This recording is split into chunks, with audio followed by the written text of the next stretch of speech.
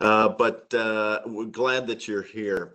Um, we're we're talking about a an interesting company today, Zoom. Uh, you know, Zoom has become a household name these days. Ever since the pandemic started about a year ago, um, it's it's become a verb. You know, how many of you have Zoomed lately? Uh, um, I bet you just about everybody has been on a call or a or hosted a call on Zoom uh, at some point in time, whether it was with family, whether it was professionally whatever the case may be. I, I, bet you we've just about all of us have zoomed. I've zoomed a few times this week already myself. Um, it's uh, we're gonna we're gonna talk about uh, earnings calls today and how to listen to an earnings call. Um, we're uh, it's interesting if you think about it when you when you think about listening to an earnings call. A lot of people just really don't have a great sense of wanting to listen to that earnings call. Uh, a lot of times it's difficult. There's a lot of numbers that are going around. There's a lot of acronyms. There's uh, quarter over quarter. There's year to date numbers that are being talked about, and it can get a little bit confusing. And so a lot of times we listen to it as uh, what's in it for us, right? What's the good that's in it for me? What's the bad that's in it for me?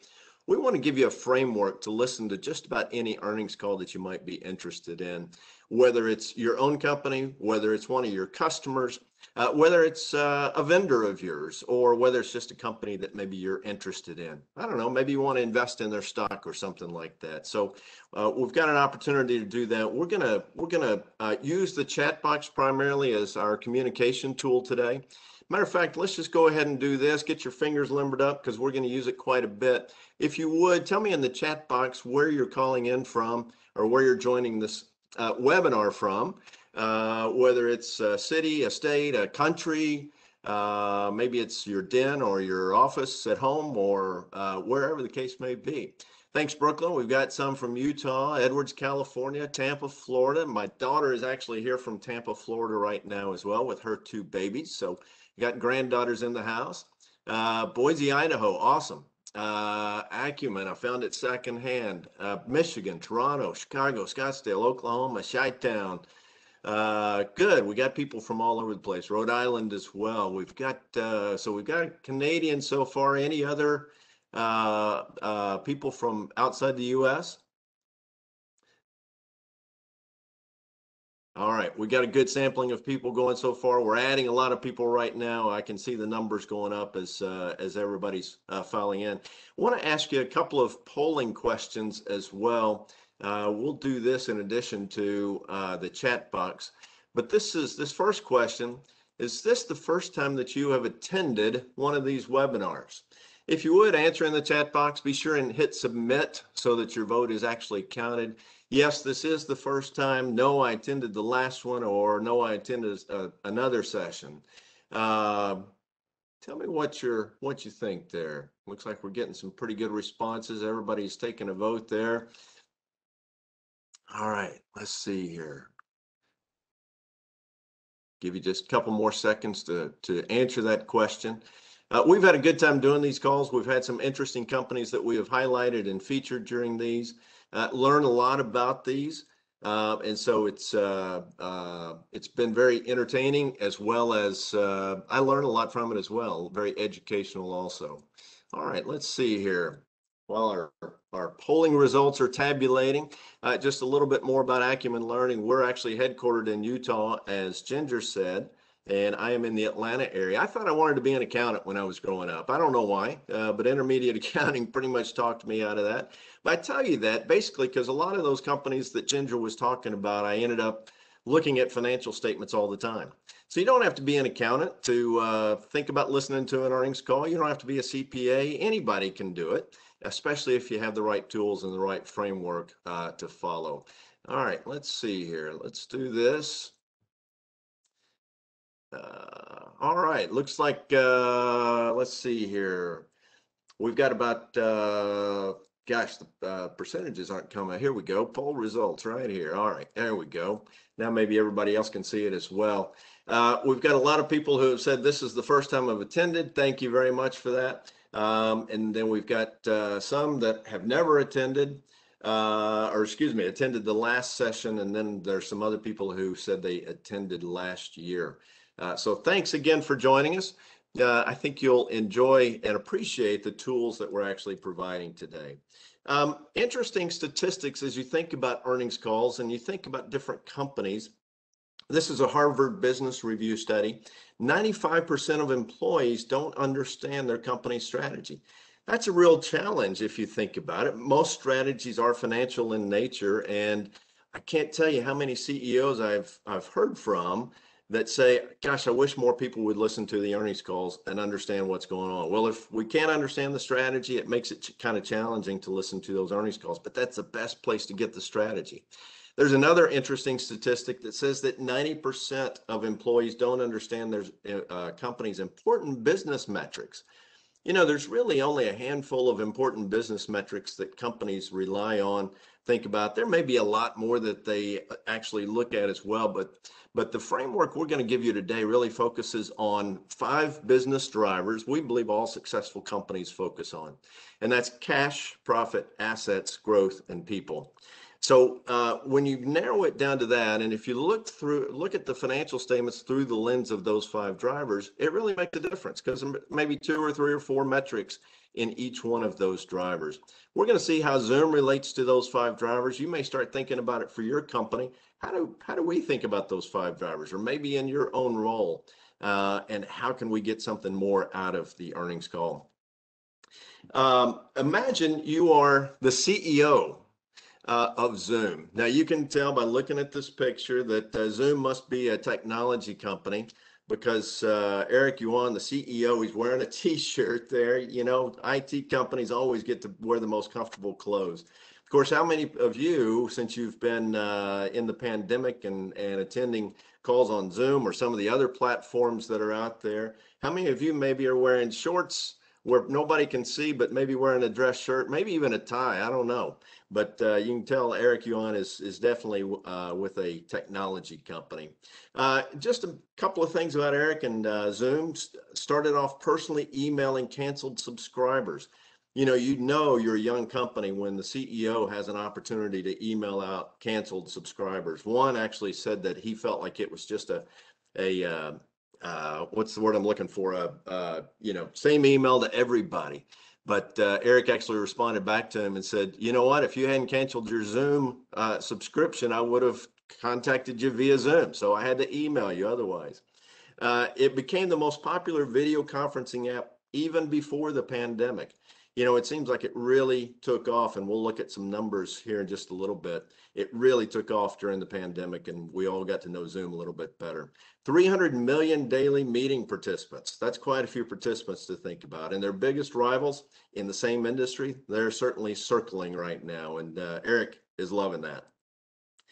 Um, now, as we think about it from an earnings perspective, there's several people that Eric Yuan probably wants to, to get the communication out to um, you know, what do your employees need to know?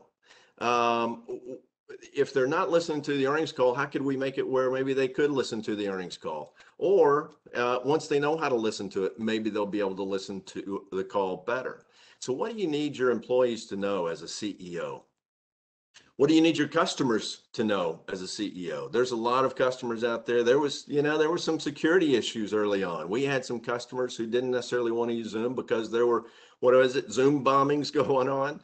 I think they fixed a lot of those security issues and they're certainly mindful of it. We'll talk about that today a little bit more as well. But what do you need your customers to know? What do you need your shareholders to know? Uh, you know, maybe we need our shareholders to understand what's going on at Zoom so that they know whether to buy more stock or heaven forbid that they will actually want to sell their stock. I'm not sure there's a whole lot of sellers out there right now, though. Um, and then uh, what do you need uh, your partners to know? A lot of channel partners that they're talking to right now and really planning on expanding that partnership relationship. And uh, what do they need to know? Because uh, that might attract more channel partners uh, to come in and help them sell their services as well. So a lot of things, a lot of people that need to know about Zoom and the message that they can get out, strategy and where we're headed in the future, where we've been in the past. So here's a guarantee that I'll make for you today. Some of you have joined us before. You've heard this guarantee as well. We don't make a whole lot of promises or a whole lot of guarantees. I make one promise in my class and always come through with that. Here's my guarantee for today. Build your, uh, if you will do this quarterly earnings call workbook, two or three times, you're going to get it. You may have it already, but you're going to understand it a lot better. You're going to understand some of the terms better. You're going to understand some of the metrics better. This will help you build your credibility uh, within your own organization and with others as well. Build your credibility, and it's going to help build your career, and it's going to help build your company uh, as well. So let's uh, let's jump into it now, and let's get started on uh, what we're going to do. So there's really a three-step process that we'll introduce to you today. Uh, number one is prepare for the call. Uh, now, maybe you're preparing for it before the call actually happens. Uh, so you certainly want to find out the information in terms of the timing of when the earnings call is going to be, or maybe it's afterwards. We'll show you how to prepare for uh, the earnings call afterwards. Uh, analyze the data and see what's going on there, and then apply it in your everyday life, in your particular role. How can that help you uh, as you listen to these earnings calls? So we're getting into the workbook now. Exercise one is prepare for the earnings call or getting ready for the call. Let me just give you a little bit of background on earnings calls. Maybe we'll call this part earnings calls 101. There's two parts to this. Number one is the prepared remarks. Typically, that's done with the CEO and the CFO. Some others may jump into that part of it as well. But uh, typically, prepared remarks, in other words, they know exactly uh, what they're going to say during that particular earnings call. As a matter of fact, some of them are even uh, recording the earnings call and playing it back and having uh, analysts send their questions to them. Thank you, Mike. I appreciate you answering that. Yeah, we'll get the uh, workbook at the end of the call today. That way you can focus on this right now and then you'll know how to use it once you actually get that. So prepared remarks is one thing. And then the second thing is the question and answer period. So the question and answer period is when the analysts get an opportunity. Sometimes there's actually media personnel on that call as well, and they may get an opportunity to ask questions. But uh, uh, usually that's about the second half of the call, maybe a little bit longer. Typically, I've seen anywhere from six to maybe 20 uh, analysts on the call who get to ask questions. They want to get their questions answered so they understand the company better. Do they want to recommend it? Do they want to downgrade it, upgrade it, whatever the case may be? So they may have some questions and concerns that they want to get answered as well. So those are the two primary parts. As we think about that and, and finding out the call or the transcript, there's a couple of things that we can do. That's step number one uh, in preparing. Locate the call or locate the transcript. Now, some of you probably have heard of this new technology called Google, right? It's uh, it's pretty cool technology. Uh, so we just put in here a, a, search for Zoom IR. IR stands for Investor Relations. So uh, several different things popped up here. Investor Relations for Zoom. That seems like a pretty broad category to me. So I want to narrow it down just a little bit more. I'm going to keep looking. Uh, there's press releases from Zoom, which certainly it wouldn't be a bad thing to find the press release for the, each quarter uh, to do our our uh, research on. Events at Zoom. Oh, that's a good place to go to if I want to find out if I've missed the earnings call or if there's one coming up in the next week or so. But I want to take a look at the Zoom fourth quarter fiscal year 2021 earnings webinar. That looks like the place I'm looking for and the information that I might be able to find. So if I click on that, it's going to take me to this slide right here. And this is the Zoom investor relations, maybe a little bit deeper than the surface of the Zoom investor relations part of it but uh, it gets us to exactly where we want.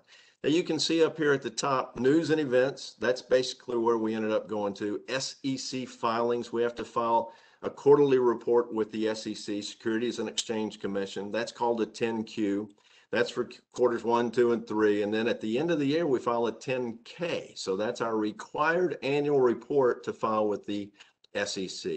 Other information in there as well, stock information. But down here, the Zoom video webinar. So I can watch the Zoom video webinar just by clicking on that link right there. Or down here, you can see supporting materials, uh, the earnings presentation, or the earnings webinar prepared remarks. So, all right, we talked about prepared remarks. So maybe we could click on that and get those.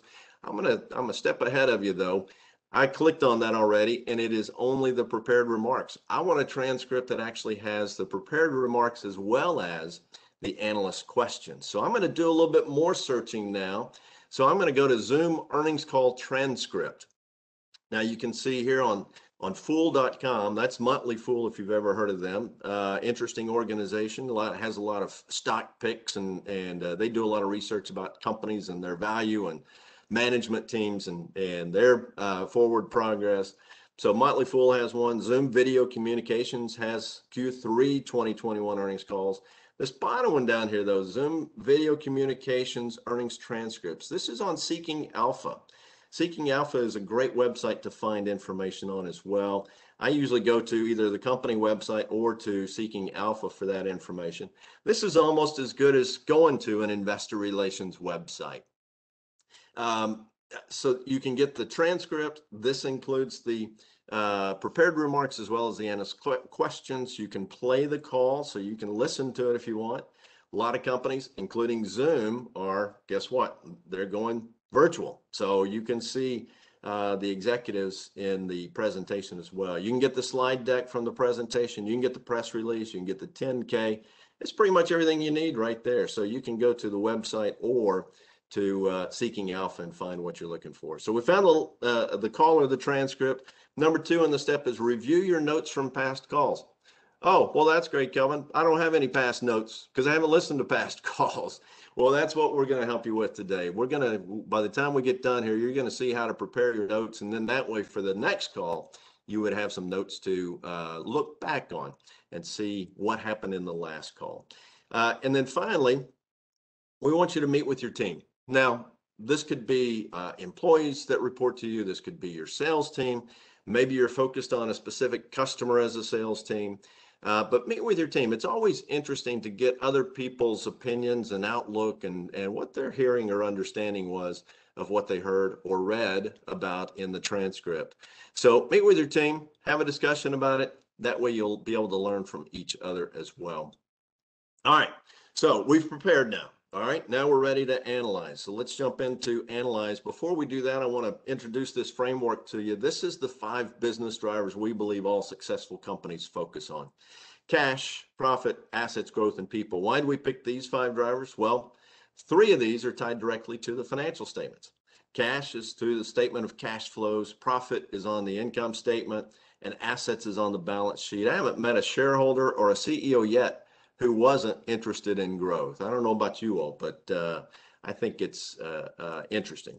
And then finally, it takes people to make it all happen. So you can see here, if you have an impact on one of these drivers, you're going to have an impact on other drivers as well. Now, we had a lot of graduates of uh, Acumen Learning uh, on the call with us.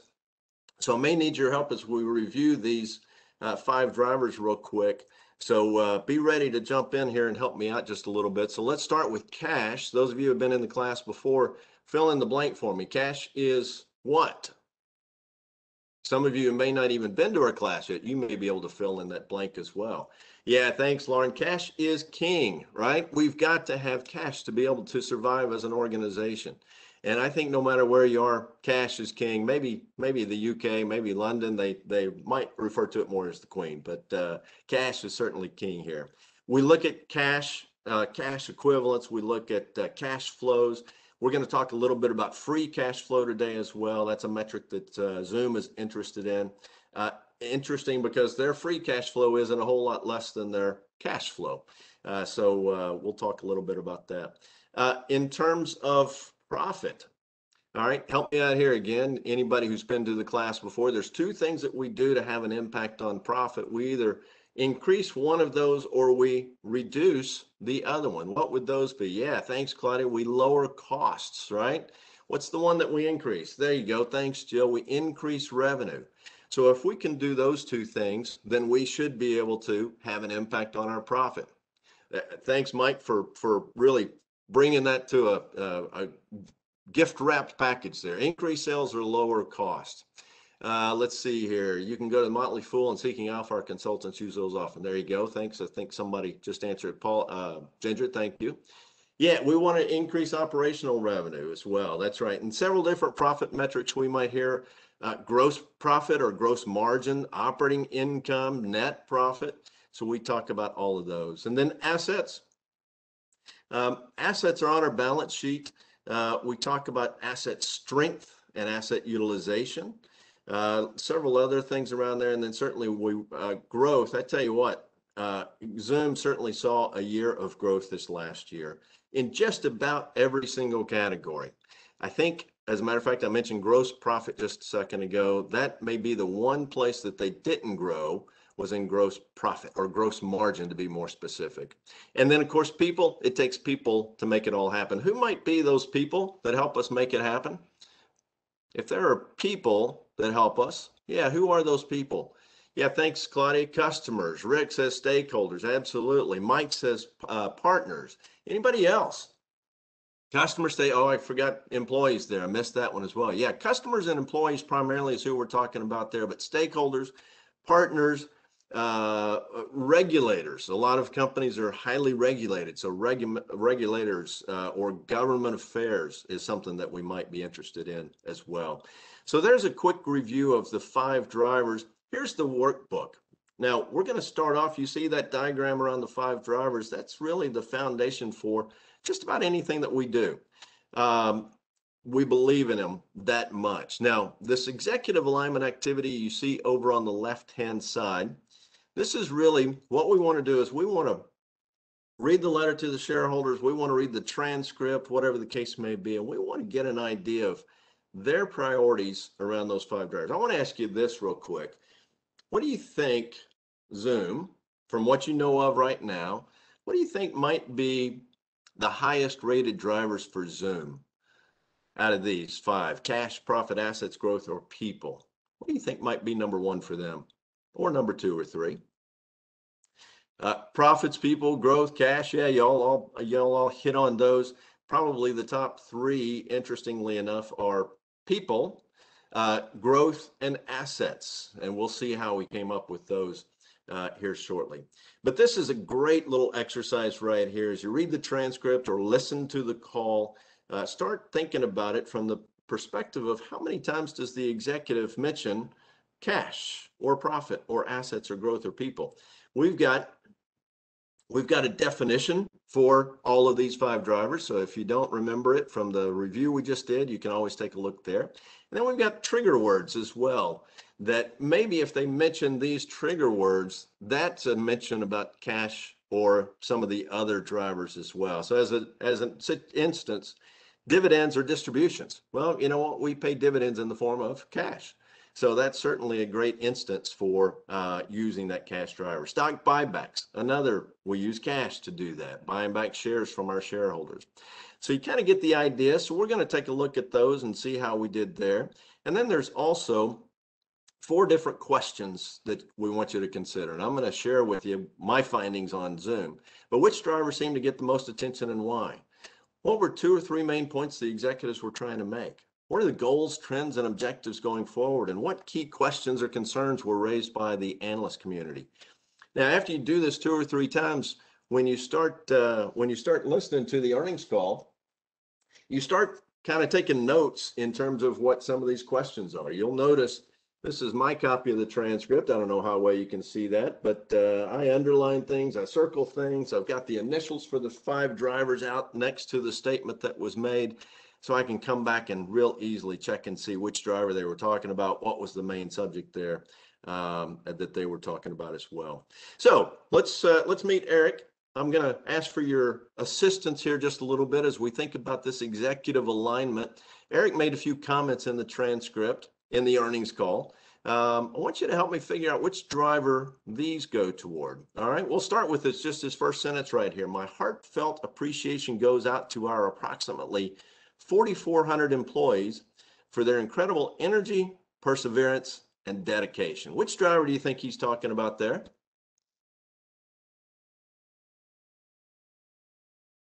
A couple of you have said people, thank you. Yeah, I've got a few more responses in there as well. Yeah, absolutely. It's all about people. There are 4,400 employees. It's going to be interesting some of the other comments that we find out about uh, people as well.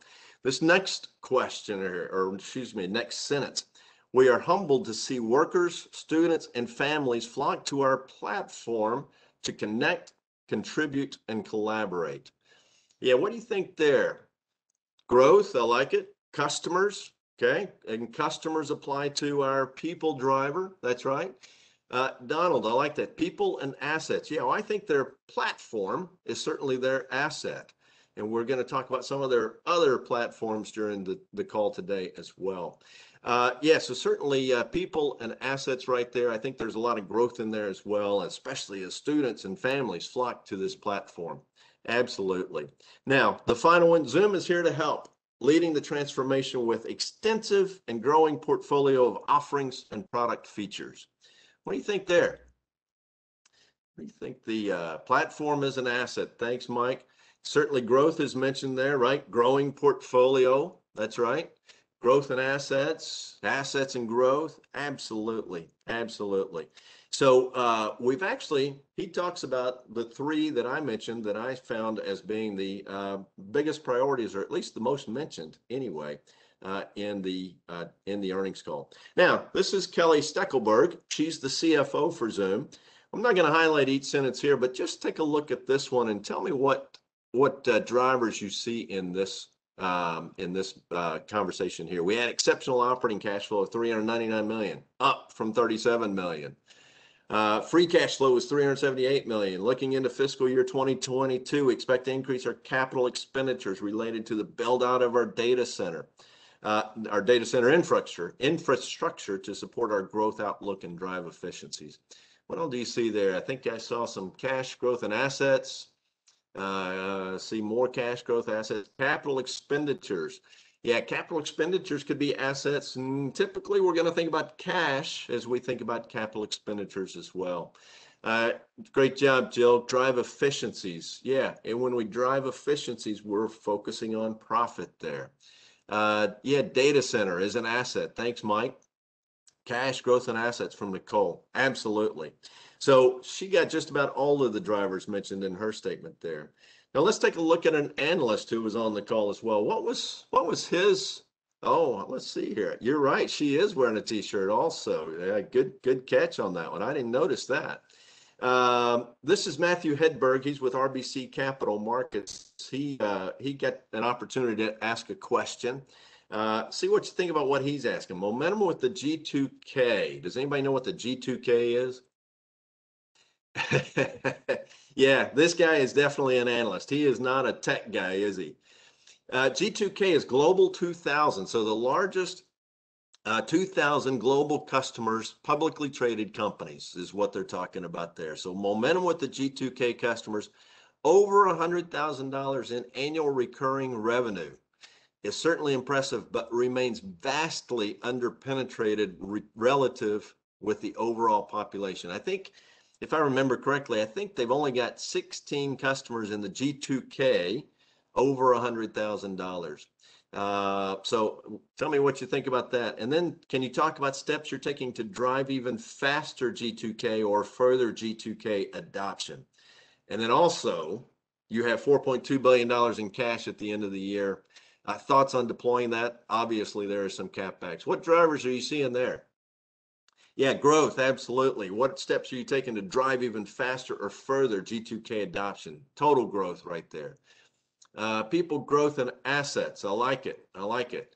Uh, growth, cash, and assets. Absolutely. Cash because of the $4.2 billion in cash. You got it. Uh, let's see. Growth and people. Love it. Love it. Yeah, because those customers, those G2K customers are people. That's right. Thanks, Brent.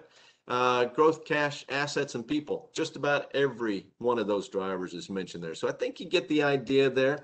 Um, Here's my responses as I read through the prepared remarks and the analyst questions. So altogether, I like to kind of break them out into two different groups. So how many questions were asked related to the prepared remarks? How many topics were mentioned as we think about the analyst questions and the responses from the executive? So you can see I basically had a clear winner right here about people. Uh, and then two more, not too far behind that in uh, assets and growth in that order. So um, so we're going to focus on those. It's interesting as you think about people. Well, here you go. Here's, can y'all read that okay? I was just wondering. I don't know. Uh, let's see here. Francois says, "I was wondering if prepared statements deliberately left some obvious things unsaid to get analysts to talk, to ask softball questions." I tell you what, Francois, there are some softball questions every once in a while, but there's some there's some hard balls every once. There's some strikes with about a 95 mile per hour fastball going through there as well. I, I know you can read those, but I'm going to make it a whole lot easier for you. Here you go. Here's the first question we're talking about. Which business drivers seem to get the most attention and why? Well, people uh, was number one with many, many uh, discussions about people, as you might imagine. I, I love this. Zoom at a glance, we make our customers happy. How much more simple can it get than that? We make our customers happy. Happy customers drive revenue growth. Can't complain about that. Happier happiness was mentioned at least seven times in the transcript. Uh, employees delivering happiness and building trust and drive employee happiness. They want to make the employees happy. They want to make the customers happy. They want to make the shareholders happy. I think they want to make everybody happy. So I thought that was really interesting. Uh, assets mentioned just a little bit earlier. Zoom has become a household brand and even a even a verb to some of us. Let's zoom later on today. Uh, growing portfolio of offerings and product features. Now that can fit into the the growth driver as well, but I put it into assets. So a portfolio of offerings and product features. They've got a lot more than just video conferencing. Zoom Phone, that was the fastest growing product line quarter over quarter last year. Zoom Meetings, Zoom Rooms, Zoom United, OnZoom, uh, their secure platform they talked about as well. Uh, preferred video conferencing app. Uh, Eric mentioned that in uh, his statements, opening statements. Security on our platform. Fiscal 22 will increase capex for build out of data center to support growth and drive additional efficiencies as well. So certainly a lot of assets they're talking about there. And then growth. You know, if uh, if I didn't read anything, I would probably guess that growth was one of their biggest drivers. As I mentioned, I think the only thing they didn't grow was in uh, uh, gross margin, uh, and that's partly because of the free offerings that they have. Uh, you know, if you're not doing long calls like this or all day uh, classes, uh, you can get it for free for about 40, 45 minutes, something like that, maximum of three people on the line. Uh, but uh, anyway, revenues grew 326% from 622 million. Are you ready for this? To 2.7 billion dollars. Wow, that's amazing. Grew non-GAAP operating margin from 14.2% to 37.1%. Free cash flow grew to 1.4 billion from 114 million dollars. Growth all over the place. 1,644 customers generating more than 100,000 in trailing 12 months revenue. Now, I said there's only about 16 in the uh, G2K, but altogether about 1,600 customers doing that, up 156% year over year. Added 385,000 customers with more than 10 employees to give them a total of 467,000 uh, employees. Uh, or excuse me, customers, I should say. Uh, now, what were the two or three main points the executives were trying to make? Uh, first of all, uh, it, it, was very obvious as you read that they love making people happy. They're in the business of making happy. Uh, whether it's employees, customers, channel partners, investors, doesn't matter. They want people to be happy. It's a simple program. Uh, it's a simple platform. So that certainly makes a lot of people happy. Uh, number two, people think of Zoom as a video conferencing company, but they've got many other assets, products that can be added on to it as well. And then finally, Zoom has become a household name. Large part of their future strategy is selling additional products to existing uh, uh, to existing customers. Additional products to existing customers. They've got more products, more customers. They actually gave some three instances of customers who actually had added additional products or features onto what they already had. Uh, and based on their brand, companies are willing to talk to them now, um, uh, either from the bottom up or the top down. Doesn't really matter. You know, at one time when they were younger and smaller, they were getting, uh, they could talk to the people at the bottom of the totem pole, but now they're talking to people at the top of that totem pole as well. So those are the two or three main points the executive was trying to make. What are the goals, trends, and objectives going forward? So continued happiness and growth, it looks like. Target larger customers who spend more money. Continue targeting existing customers who can take on additional products. Uh, continue supporting approximately 125,000 free K through 12 domains. Uh, prioritize R&D hiring. Boy, what? How smart is that? Uh, uh give it to them free in kindergarten and, and through 12th grade. Get them loving the product and then all of a sudden they become adults and they're using the product at whatever company they may be going to. Uh, prioritize R&D hiring. So that's that's kind of interesting. They've got a pretty good R&D spend already, but they realize they've got some opportunities there as well. Drive further innovation, expansion, and security on the Zoom platform. And then finally, fiscal year 22 revenue, they're predicting that they're going to be up about 42 to 43%, and that non-GAAP operating income will be up about 14 to 16%. Okay. Now, what key questions or concerns were raised by the analyst community? There were there were a lot of questions. There were some repeat questions.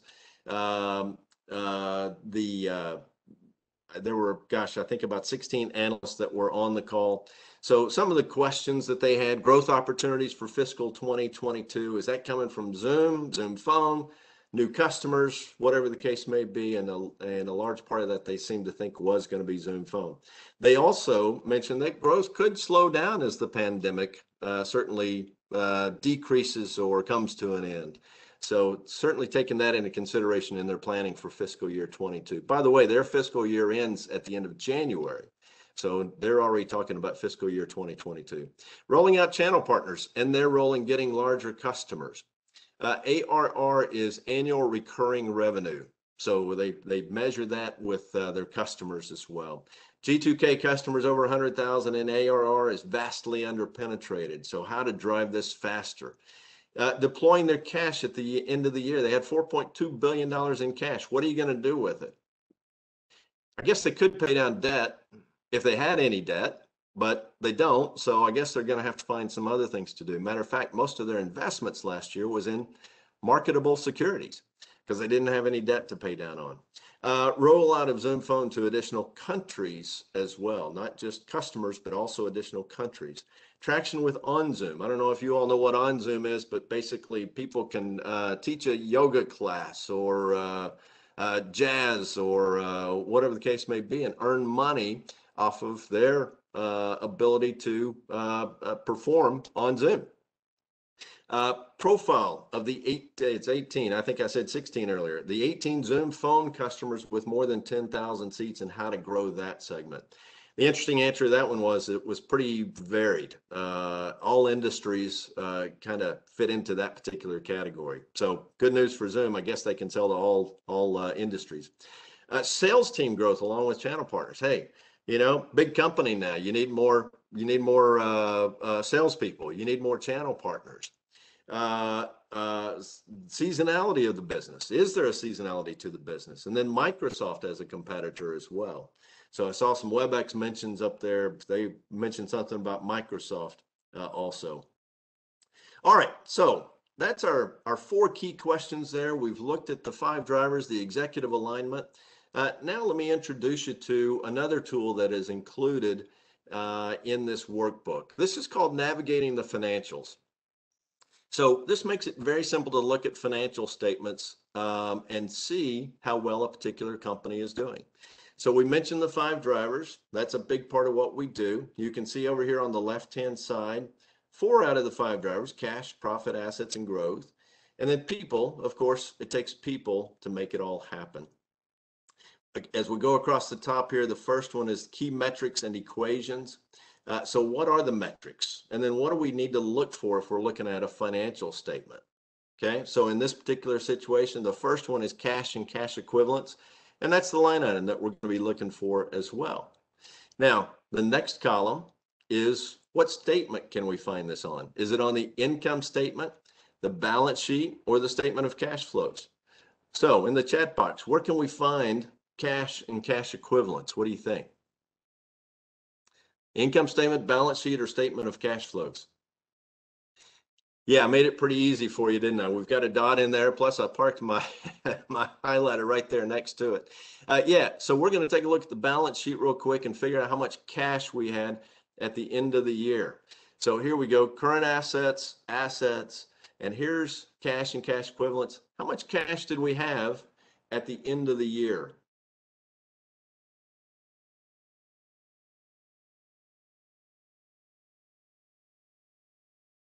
Sorry about that. Yeah, 2.24 billion. That is correct. 2.24 billion. So we'll go now and we'll add that into, sorry, There we go.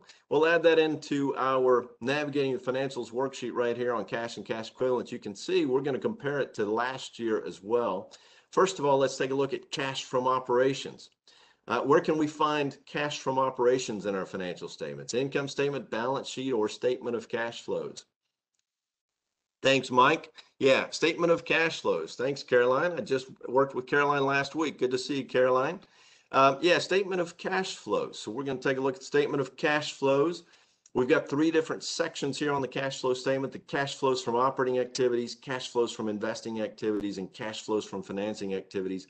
How much was the cash flow for Zoom in 2021?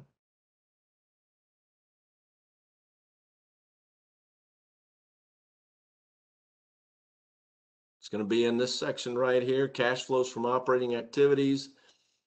2021 we're looking for. What do you think? Exactly, exactly. $1.47 billion. That's this number right here. $1,471,177,000. Uh, so 1.4 billion is the correct answer. So we're going to plug that in here. Now let's go back to our income statement real quick and look for our total revenue. Uh, let's see here. Okay, here's our income statement. Uh, where do we find our, how much revenue did we do in 2021? A lot of times we'll call that the top line on our income statement, right? Some of you who have been with us in the past know that we call that top line. Absolutely. Thank you all. $2.6 billion in revenue last year. All right. So we're going to plug that one in. Then we're going to come down to net income. Where can we find net income? Which statement?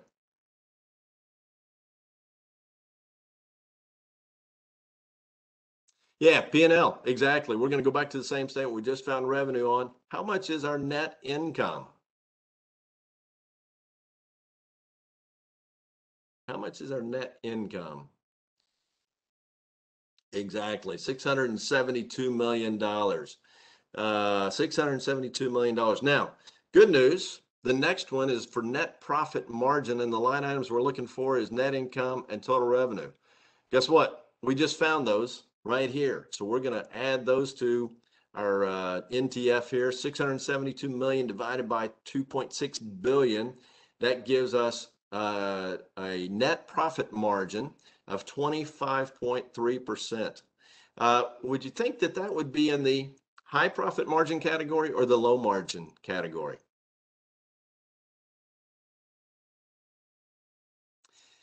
Yeah, I can see there's some races going on there to see who can be first. I I, I don't know if y'all are sitting there together and typing together or not, but I love it. Yeah, uh, we've got some high margin uh, uh, categories here. We've got one that says mid margin categories. There are some that are higher than that, but I would say that they're uh, probably high, especially if you think about 10% being the uh, the average S&P 500 profit margin. So 25.3. Now, I'm just going to go ahead and fill out the rest of it, point out a couple of metrics. Basically, uh, return on assets, 12.7%. The S&P 500 on that is about 7%. So uh, they're killing it there. Now, part of that is because their uh, net income and their total assets, they've got a lot of assets uh, net income was pretty high, relatively speaking, especially at 25.3%, so 12.7%. You can see the these are just staggering numbers down here when we compare 2021 fiscal year to 2020. 325% growth in revenue. 2,954% in total uh, net income growth let's see here. Went from a low profit margin company to a high profit margin company in a year. Yeah, Mike looked over here. He he already looked at the comparison year. 3.5% to 25.3%. Uh, huge increase. And you can see here as well, 283 million in cash up to 2.24 uh, billion in cash. So good results here. Uh, revenue growth was still 88.2% the year before from 20, 2020 to 2019. Let's see. Talk about a company being at the right place at the right time with the right product. You got it, Brent. Yeah, they definitely were in the right place at the right time. Now, I saw some WebEx mentions here, so it's only fair that we should take a look at Cisco, who uh, created WebEx, right, and see how they're doing. Well, look at this. They've got Uh, a fair amount of cash here compared to what Zoom is, $11.8 billion. Cash flow is doing phenomenal as well, $15.4 billion. Total revenue, $49 billion compared to $2.6 billion. So Cisco is definitely a large, large company there. Now, it'd be interesting to see exactly how much revenue WebEx is generating uh, to, to have a little bit more of a comparison there because there's a lot of other products in Cisco as well. Uh, I want to say it's about $5 billion in revenue from the category that they fit into within the Cisco uh, uh, timeframe or, or uh, uh, platform. So uh, about 5 billion, and that includes some other products as well. But still, a phenomenal company at Cisco, 22.7% in terms of net margin.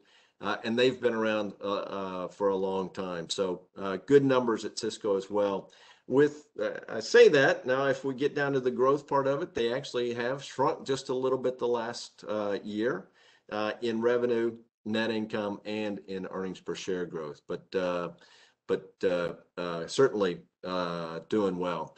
Let's see here.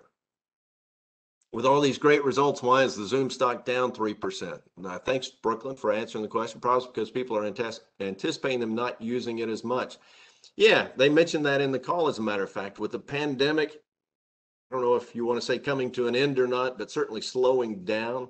Uh, we're hearing about people going back to the office now to some degree. How much will Zoom need to be used uh, in that time frame? I, who knows? Maybe we look at Zoom again in a year and see uh, see how they're doing another year later uh, into the into the uh, pandemic. See how it's doing there as well. We looked at UPS last uh, last quarter as our highlight company in the transportation industry. So this we're just comparing now, not necessarily uh, any comparisons to these companies, other than that they've both been highlighted by Acumen Learning uh, in our calls here today. so quite a bit of cash, quite a bit of cash flow. UPS has been around for quite a while. Total revenue of $84.6 billion. Net income, they've had some good growth the last uh, last year as well. Uh, certainly in revenue, net income, and in earnings per share. So interesting to see some of those numbers. 1.6% uh, profit margin, so probably a low margin category there. Let's see here. Francois says, I feel like bad results means I'm sure they'll do better, while good results translates to it's not sustainable. I, that's an interesting point, Francois. I like that. I like that. Um, all right, so that's the that's the tool. Uh, at least in terms of we've done our preparation, we've done our analyze. Uh, now you know how to use both of those tools. Now we need to apply this information that we've learned about Zoom. All right. Uh, you may have had a mom who told you this. If not, maybe your boss told you this. I don't know. To know and not to do is not to know. We always say in our classes, you know, we hope you walk out of here and, and say, oh my gosh, that was a great class. But more importantly than that, we hope you walk out and say, oh my gosh, I've got some great tools that I can use in my job every single day. Because that's certainly more important. That's what's going to help you apply this information. So now let's move on to the apply stage. Uh, so there's a couple of different sections for apply. Number one is what new insights did you gain as a result of your analysis? And then based on what you've learned, what are the three actions that you'll take? Let me share with you what uh, my insights were and the three actions that I'll take. Several different things. It's interesting. COVID-19 caused some real challenges for many industries, but for some it was a catalyst for growth. And certainly Zoom saw that catalyst for growth um, uh, really early on in the pandemic stage and really had uh, become the uh, most popular platform even before the pandemic. So uh, uh, as Brent said a little bit ago, thanks for that comment, Brent, uh, right place, right time with the right product. So Zoom certainly benefited greatly from the pandemic. Zoom is much more than a video conferencing company. They've got a lot of different products a lot of different add-on or bolt-on products that uh, can go along with the, the base product and certainly uh, uh, focusing on that to a large degree with a lot of their existing customers. Zoom is very user-friendly, but I never realized how happy they try to make people. Uh, you know, hey, it's a simple product.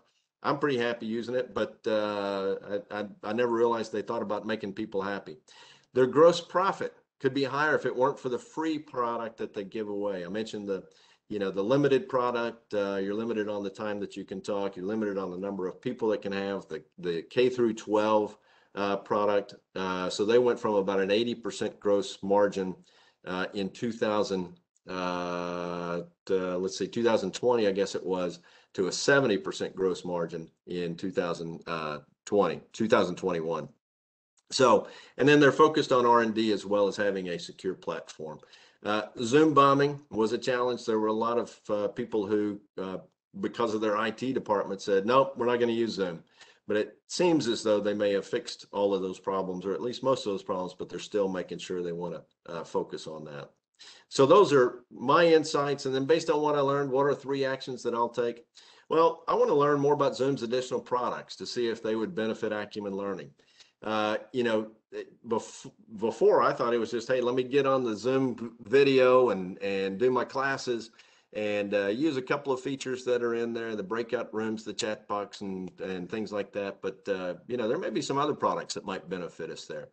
I, think it'd be a great idea to network with other facilitators to get other ideas on how to use Zoom. Certainly, we've got a number of facilitators at our office. We're all using uh, Zoom. We're using many platforms as well.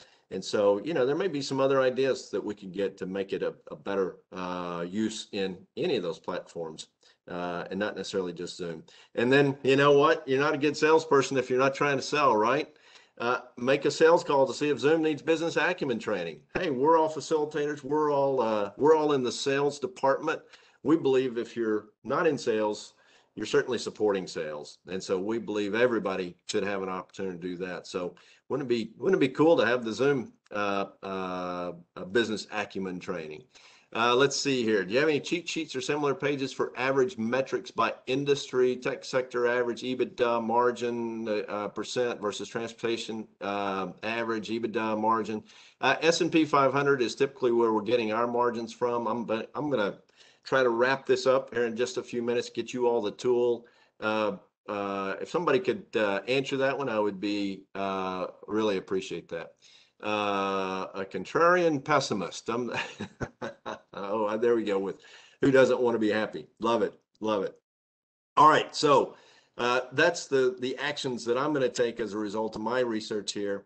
Now, schedule a review. Um, you know, now that you've done this, it's we've talked about meeting with your teams, whether that be employees or whether it be your sales teams. Uh, but uh, we certainly want to meet with our teams, and uh, the the the review may be different all depending on who you might select to take a look at and analyze. As a matter of fact, um, we're going to do. We've already figured out who we're going to use uh, for this call next month. Uh, I'm going to mention it. I hope I'm right. Uh, uh, somebody correct me if I'm wrong, but I believe it's GM. And uh, thank you. Yep. So GM. So now I want to give you a little bit of a uh, challenge. You're going to get the tool here in just a second, the quarterly earnings call workbook. So if uh, you want to analyze your own company, that's awesome. If you do, I'd love for you to meet with your manager, kind of align with his strategy, your strategy. What are the things that you've found? Uh, and what can you do to have an impact on the drivers and the challenges within your own company. If you analyze a customer or a partner, maybe you go meet with your sales manager and determine some of the strategies about approaching that particular customer. Um, uh, and you can align with your sales manager as well. Uh, what are the trends that they're experiencing? How can how can you help that customer when you're focused around the five drivers? In other words, uh, go in and talk to them in their language, but around those five drivers. Which ones are they focusing on? Which ones might be lower strategies or lower priorities? Uh, how can your product or service help them with their cash or their profit or their assets or their growth or their people? So uh, meet with your sales manager and talk about strategies along that. If you analyze the competitor or benchmark company, again, meet with your own manager and talk about the things that you found with uh, a competitor or a peer group company, if you want to think about it from that perspective? And what are some of the actions that you and your team can take to be more competitive and more innovative? Okay, so schedule that review. Matter of fact, in the chat box, who do you think you might review uh, once you get this tool? Is it a is it your own company? Is it a customer or partner, or is it a benchmark company or a competitor? Thanks, Wayne. Competitor, okay. Texas Instruments looks like our own company. Awesome.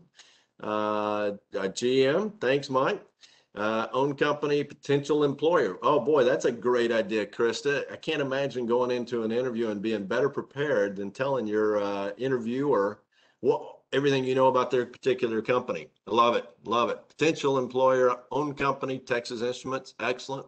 Uh, my company, my own company, customers. All right, good, good. We've got a lot of people doing that. Um, uh, so I recommend that you do that. I would do it pretty soon too. However, take a look and see when those earnings calls are going to be coming out. Maybe you can do it here in the next week or two. Matter of fact, two of my customers had their earnings calls at nine o'clock this morning. So uh, it is rolling around for that time frame. Now, we've done prepare, we've done analyze, apply. We know how to do this now, right? So now we can go out and really apply it to just about any anybody. Again, a reminder of the three steps. By the way, what step am I missing here? Number two. Well, number one is locate the call or transcript. Uh, number two is number two is anybody remember? List. There you go. Pull out your notes from the last call, right? Review your notes from past calls. Guess what? Now you're going to have notes from the past call as soon as you get through analyzing these particular companies. And then finally, meet with your team. Here's your challenge. Who are you going to analyze? You all have answered a lot of those already. Uh, workforce L2, compete against, partner with, invest in, or interested in. Many of you uh, have attended our class before. Uh, so if you would do me a favor, uh, we work with 30 of the Fortune 50 companies as well as a lot of other companies. Here's some of the benefits that they see coming out of our classes. Improved the performance of your business or function, increased collaboration. I'm not going to read all of these to you, but if you've been through a class before, or maybe if it's even been to one of these webinars for what the CEO needs you to know, uh, which benefit did you see coming through at your particular uh, company? Uh, a, B, C, D, E, or F. What do you think? We do a lot of different classes. Uh, we do. We used to do in-person classes. I think we've done two since the pandemic started. I've got one scheduled at the end of August, but otherwise we have been a virtual company uh, pretty much since then. Uh, we do anywhere from one-day courses to four-day courses. We do. Uh, we do sales training. We work with different groups within organizations. Um, we uh, we do it all virtually. I've in the middle of a three-day virtual class uh, right now uh, in the Asia Pacific region. They were they were nice enough to give me the week uh, the rest of the week off in terms of teaching their class. I come back and do day three next week. So four to six hour classes is about the average in terms of uh, uh, the time frames for virtual classes, and we certainly would work, do that with uh, with company. So we've got a lot of different answers here. B, increased collaboration. C, improved upward communications. D, improved employee engagement.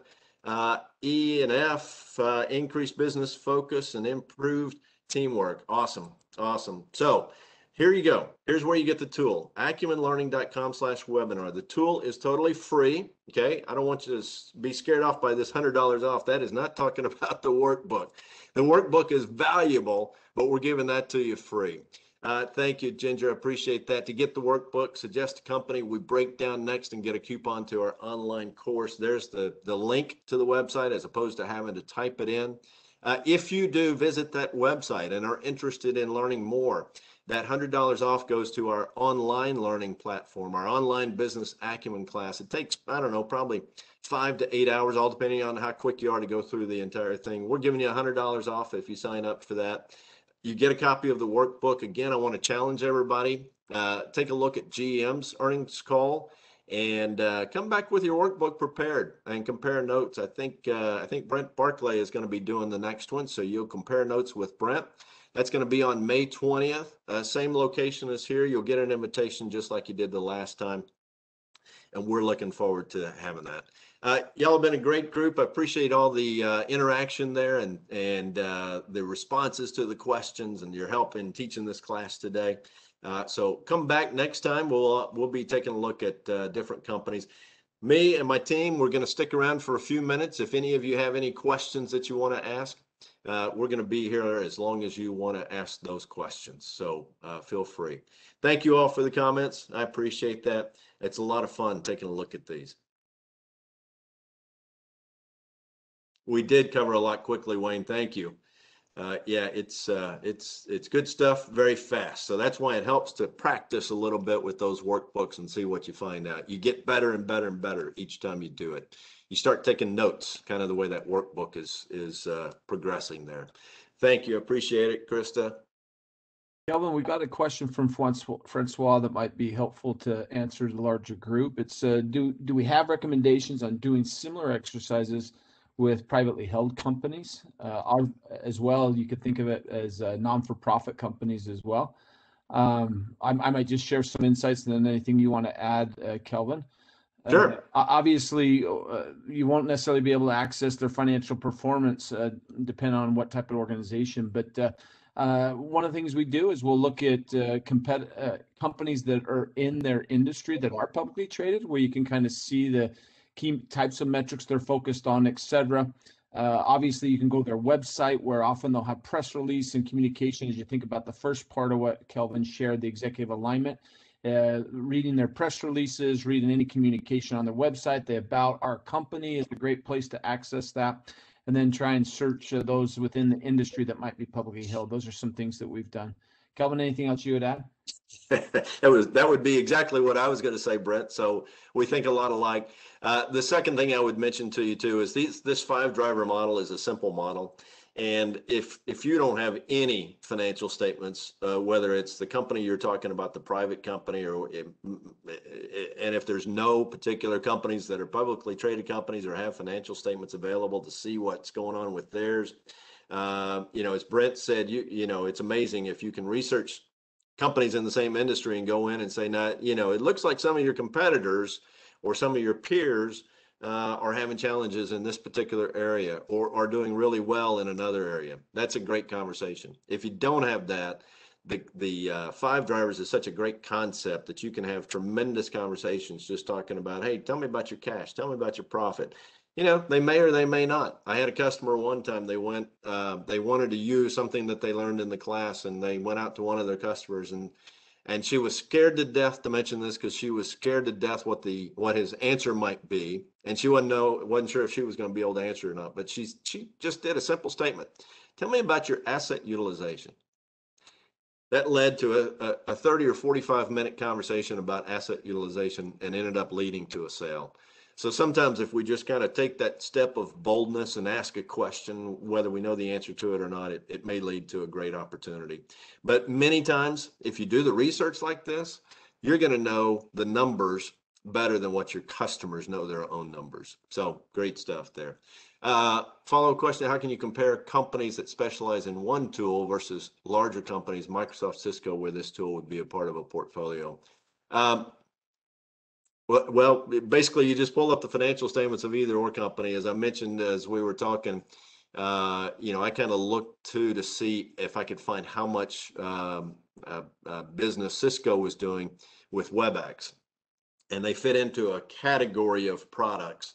And uh, um, so I couldn't get the specific number for WebEx, but uh, got a number for that particular category, and it was it was about five billion dollars for that particular category out of about fifty. Let's see, Mike's suggesting, or do the industry numbers or a showcase company like Mars is private? You could run this on Hershey, who is public, and get a pretty good idea what Mars is focused on. Yeah, good good point, Mike. Great example. Thanks, Francois. We appreciate it. We've got about 66 people on the line still. Uh, happy to stick around a little bit longer. Any other questions? Wow, thanks for the stat there, Brooklyn. Okay, folks, I got five minutes after the hour. Uh, sounds like the questions are over. We're going to uh, disconnect at this particular point in time. We'd love to hear from you, though. If you have additional questions, uh, you can call us at Acumen Learning. You can find us online uh, at Acumen Learning. All right, take care. Thanks for joining us today.